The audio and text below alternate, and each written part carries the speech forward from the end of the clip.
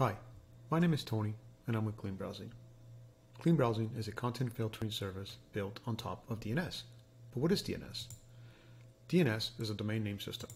Established in 1983, we like to think of it as part of the fabric of how the internet works.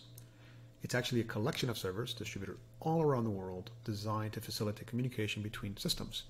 And it does this, in our opinion, by bridging the gap between how we as humans interact and think and how computers communicate.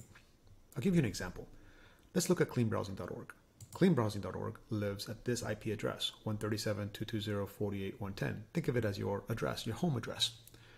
We as humans understand cleanbrowsing.org. Computers understand this IP address.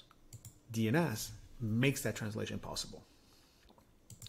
DNS actually lives in almost everything we interact with on a daily basis, whether that's a mobile device, whether that's a Windows application, a Mac, um, your router, your IoT devices, almost everything uses DNS. And without it, our experiences online would be very different today. So now we know what DNS is and why we have chosen DNS as the foundation for how clean browsing works.